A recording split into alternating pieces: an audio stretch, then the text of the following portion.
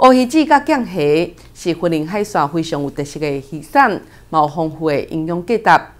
东势乡卫生所为着予长辈当动手动脑补充营养，伫即间安排创意料理课程，甲乌鱼子甲酱虾量力料理当中，予长辈食到上健康的海口滋味，嘛伫课程当中享受做菜趣味。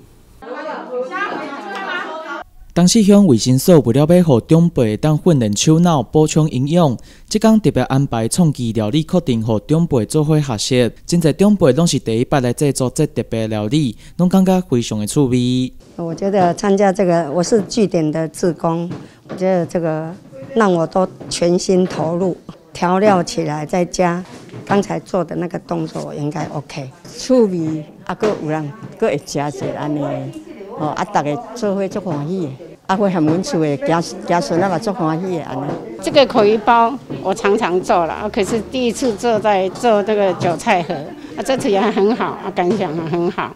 啊做给了，我也会想在家做给老人家吃。乌鱼子甲咸虾不只是婚姻关海线特别稀产，嘛有丰富的营养价值。这边料理嘛特别加入乌鱼子甲咸虾，嘛有当时厝的红菜头，希望互大家会当补充到需要的营养，嘛为料理增添无共款的滋味。咱今日是用咱东市吼在地胡萝卜吼啊结合烤的乌鱼子佮咸虾吼，啊，互咱来时代做体验。啊，因为因可能平常嘛较无机会家己做的这个韭菜盒子啦，啊，所以今天利用这个课程呢，让我们长辈来做体验，嘿，啊，所以用这个海味来加这个胡萝卜，好，咱的长辈营养满分，好，啊，所以会当营养个美味。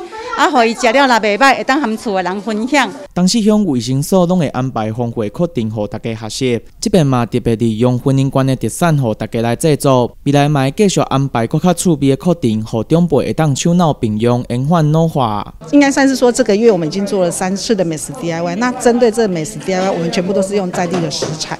那我们也希望长辈可以多多利用在地食材，不求远的食材，然后用在地食材来让他们可以吃到均衡的饮食，然后来。